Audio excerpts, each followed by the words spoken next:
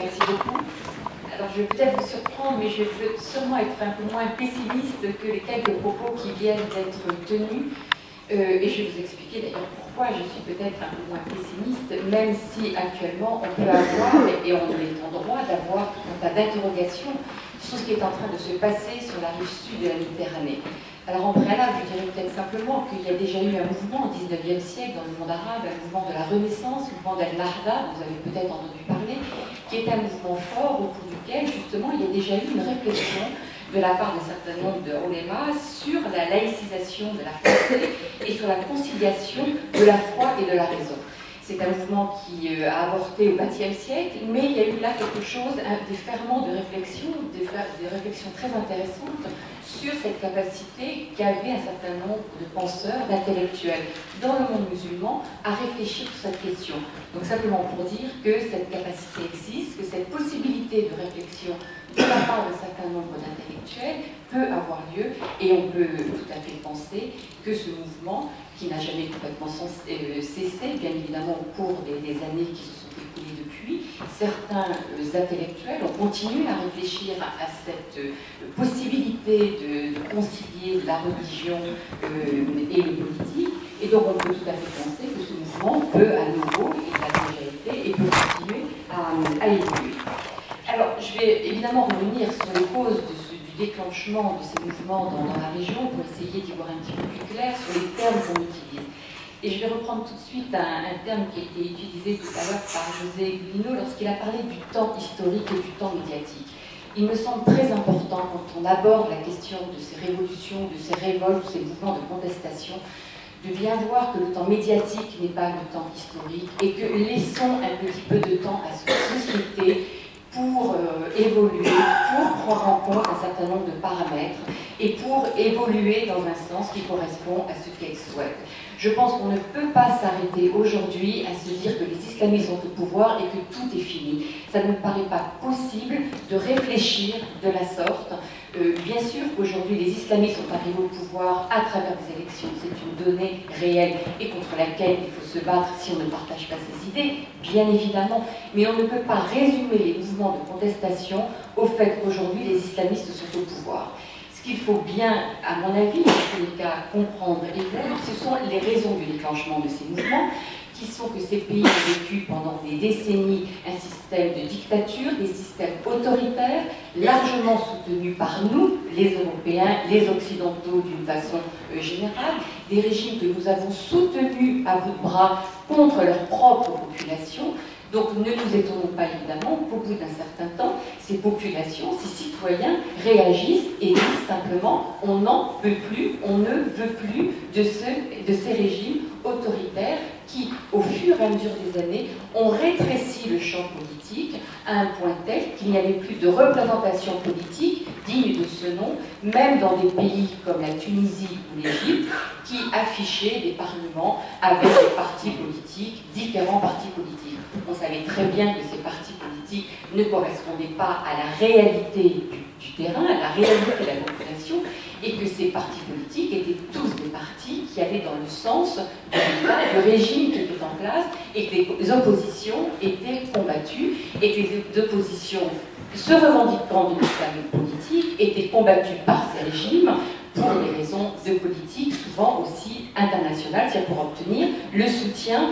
des, pays occidentaux. Donc on a eu toute une partie de, l'opposition qui s'est retrouvée euh, dans les prisons, je parle là des représentants de l'islam politique, ont acquis une espèce de légitimité parce qu'ils ont été emprisonnés, parce qu'ils ont été combattus par les régimes que les, manifestants en 2011 et 2012 ont, fait, euh, combattu à leur tour. Ce qui fait que lorsque les régimes ont changé, lorsque Ben est parti, quand Hosni Moubarak est parti, les partis qui se sont retrouvés les plus légitimes aux yeux de la population, parce qu'ils n'avaient jamais exercé le pouvoir, se sont retrouvés les partis se revendiquant de. Et c'est ça la réalité de la situation. On a, en certaine manière, on a complètement permis et on a aidé à ces mouvements à acquérir une certaine légitimité politique parce qu'ils avaient été bafoués, ils avaient été combattus très fortement par les régimes précédents que nous-mêmes occidentaux nous soutenions. Donc ça, ça paraît être un premier point très important pour comprendre ce qui s'est passé. Donc maintenant, ce qu'on entend beaucoup, et ce qui est tout à fait juste, c'est que lorsque les mouvements de contestation ont débuté en Tunisie et en Égypte en particulier, on a vu dans la rue beaucoup de jeunes, de femmes, des hommes, mais toute une partie de la population qui est descendue dans la rue. Et on ne retrouve plus du tout cette, euh, population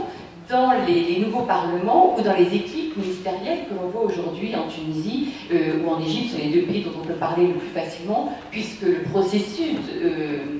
démocratisation est en cours. Alors c'est vrai que certains se sont réveillés en se disant que leur révolution leur avait été volée, et en particulier les jeunes et les femmes qui ne se retrouvent pas du tout dans la représentation populaire et pas du tout dans les gouvernements. Et ça, c'est une vraie question qui se pose effectivement, de se dire pourquoi tous ces jeunes qui sont dans la rue ne peuvent pas se retrouver aujourd'hui dans les structures politiques. Pour une raison très simple, c'est qu'ils sont descendus de la rue par vraiment cet aspect de ras-le-bol, passez-moi l'expression,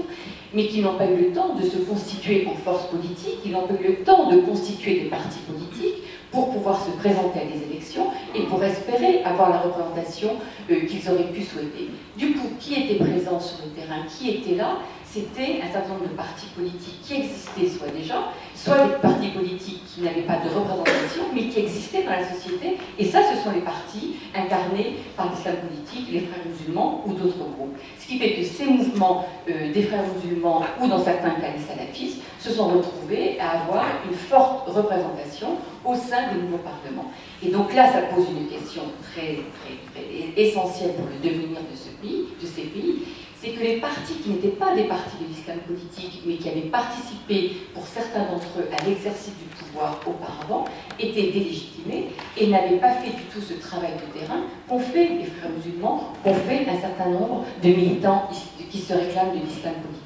Et donc là, ça pose la question de savoir comment ces partis politiques, qui sont souvent des partis qui se réclament, enfin qui se disent et qui sont des partis démocratiques ou libéraux, ont complètement abandonné le terrain et simplement se retrouvant, euh, comme m'a dit un jour un, intellectuel tunisien, on se retrouvait beaucoup plus souvent au Flore qu'à Tunis, dans un certain nombre de quartiers, à travailler et aller vers la population pour leur faire part d'autres idées. Donc les seuls qui ont fait ce travail de terrain de façon extrêmement efficace, ce sont les frères musulmans et qui ont donc pu engranger sur ce travail de terrain ensuite, lorsqu'ils ont eu droit euh, à, la parole, lorsqu'ils ont pu s'exprimer dans le cadre de la, campagne électorale avant les élections. Donc ne nous étonnons pas de nous retrouver aujourd'hui avec ces partis qui sont arrivés en tête des élections mais là encore, relativisons le succès de ces partis de l'islam politique. Lorsque l'on prend les chiffres de la participation au scrutin électoral et le pourcentage remporté par ces partis, ces partis ne sont pas majoritaires par rapport à la population, puisque toute la population n'a pas voté, loin de là. Ce sont des partis qui représentent 20, 25, 30%, ce qui est énorme bien évidemment de, par rapport aux idées qu'ils défendent et qui ne nous satisfont pas du tout. Mais ce que je veux dire par là, c'est que ce ne sont pas des mouvements politiques qui aujourd'hui ont remporté la majorité des suffrages de la population, ce qui laisse une possibilité énorme à d'autres partis politiques si ceux-ci euh, se structurent et commencent à faire un travail de terrain, de pouvoir espérer par la suite pouvoir remporter le suffrage universel et pouvoir être beaucoup plus présents au sein du Parlement qu'ils ne le sont aujourd'hui, car aujourd'hui, effectivement, ils ont été laminés par ce travail de terrain essentiellement qui a été fait par les partis euh, représentés euh, par les frères musulmans ou dans certains cas comme en Égypte par euh, les, salafistes qui ont eu, comme vous le savez, 20% des, voix dans la nouvelle constitution.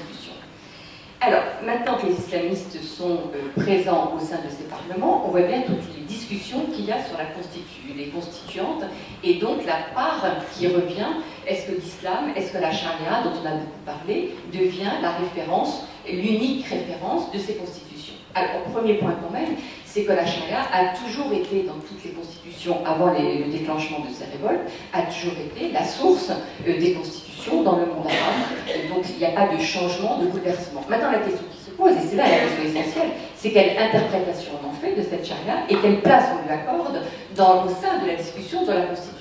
Et c'est là où effectivement il convient d'être vigilant, puisqu'on a déjà vu en Tunisie des tentatives de la part des députés de faire en sorte que la charia soit beaucoup plus importante qu'elle ne l'était dans la constitution précédente.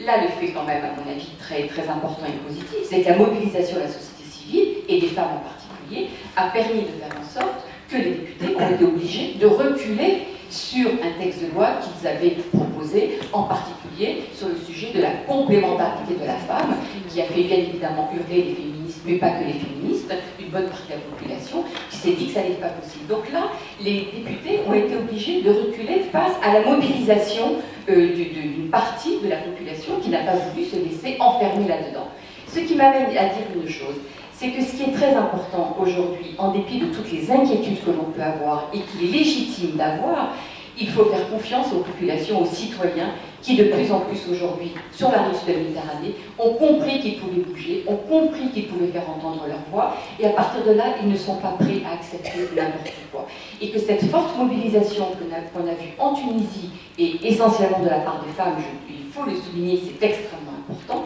moi, me paraît porteur de beaucoup d'optimisme parce que ça prouve que la capacité de mobilisation existe et que même si euh, El Nahda est le premier parti politique aujourd'hui en Tunisie, ça n'est pas pour autant qu'il n'y a pas de possibilité pour ceux qui sont contre euh, l'imprégnation de ces idées au sein de la société, ont la capacité à s'exprimer et à faire bouger les choses. Alors c'est un combat, un combat extrêmement dur, qui va être sûrement coûteux, qui va sûrement être, très douloureux dans un certain nombre de situations, bien évidemment, mais je crois que ce qui a, ce qui a été très fort dans ces mouvements de contestation, c'est que les citoyens se sont aperçus qu'ils avaient une voix et qu'ils pouvaient faire entendre leur voix. Et que la première étape étant passée, la deuxième étape, pour certains d'entre eux en tous les cas, ne correspond pas à l'espoir qu'ils avaient mis dans ces révolutions et donc sont tout à fait décidés à continuer à descendre dans la rue et à exprimer des points de vue si l'évolution euh, de, la situation ne va pas dans le sens des idées qu'ils ont ou qu'elles ont envie de défendre.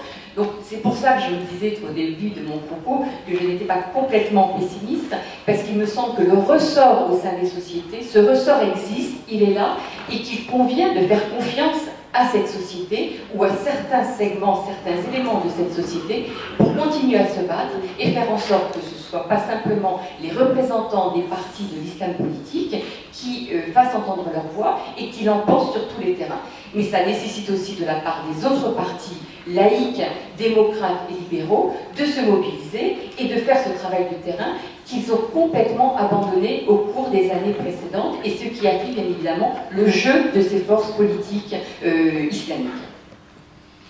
Euh, oui, je vois que le temps passe. J'ai quand même dire aussi une chose qui, me paraît importante. Le terme de laïcité dans le monde arabo-musulman est un mot qu'il est très difficile de traduire. Il n'y a pas une traduction évidente de ce mot de laïcité et qui montre bien aussi peut-être la difficulté qu'il y a à réfléchir sur ce concept de laïcité et comment le concevoir. Aujourd'hui, alors le terme officiel qui est le terme de Aelmania, qui est un terme finalement qui n'est pas du tout utilisé. En revanche, on parle de plus en plus, et c'est le terme qui commence, enfin qui est utilisé lorsqu'on parle de laïcité, qui appelle le terme de civil. On parle d'état civil, état madani, et non pas de laïque au sens de la traduction pure. Ce qui est très intéressant à voir,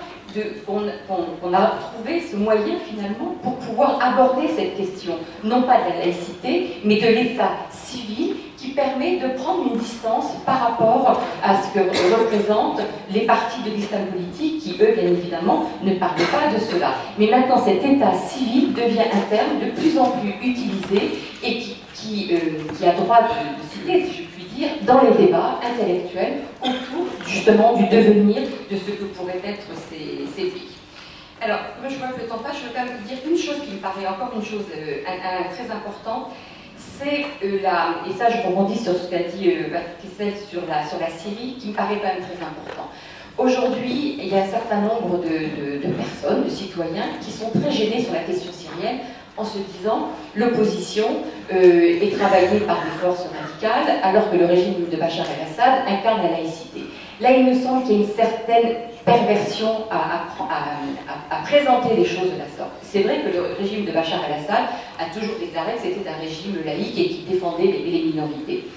Aujourd'hui, Bachar el-Assad, qui est quand même en très mauvaise posture, et ce régime devrait quand même, à mon avis, tomber un jour ou l'autre, ne manque pas une occasion de présenter son pays comme étant le dernier bastion de la laïcité, de la stabilité et de la coexistence dans la région Il me semble que cette utilisation est quand même dangereuse lorsque l'on voit le comportement de ce régime de Bachar el-Assad aujourd'hui, qui s'en prend aussi bien aux minorités qu'à la majorité de sa propre population. Donc, continuer à dire que le régime de Bachar el-Assad défend la laïcité me paraît être un contresens absolu euh, aujourd'hui. C'est vrai qu'au sein de l'opposition, il y a des djihadistes qui ont rejoint le combat euh, en Syrie. Euh, au jour d'aujourd'hui, d'après les éléments dont on dispose, il ne serait pas plus de 1000 ou 2000. Donc on ne peut pas dire qu'aujourd'hui, l'opposition syrienne est entre les mains des djihadistes ou des salafistes qui sont en train de dicter leurs lois au sein de l'opposition. Ce qui pose problème, bien évidemment, c'est que les deux pays qui supportent l'opposition, essentiellement, ce sont le Qatar et l'Arabie saoudite, parce que les pays occidentaux n'ont pas voulu soutenir cette opposition. Donc il y a un moment aussi où là, nous, Européens, ou nous, Occidentaux, nous devons de savoir ce que nous entendons et ce que nous voulons faire. Est-ce que nous pouvons dire, ils ne pouvons pas donner de, l'armement à l'opposition parce qu'on ne sait pas très bien où cet armement va finir par atterrir, et donc laisser l'Arabie saoudite et le Qatar armer l'opposition, et du coup on se retrouve finalement à être complice des régimes les plus rétrogrades de la région qui incarnent le wahhabisme le plus terrible, qui sont l'Arabie saoudite et le Qatar. Donc sortons-nous, occidentaux, de cette ambiguïté et de cette incapacité que l'on a à pouvoir soutenir des forces laïques. Là, aujourd'hui, nous soutenons clairement, ça avait été déjà le cas en Libye, nous, la France en tous les cas, nous avons poussé le Qatar à intervenir en Libye et à financer la révolution libyenne. Est-ce que c'est ça que nous voulons? Est-ce que c'est ce choix de société que nous voulons? Je ne le crois pas. Donc,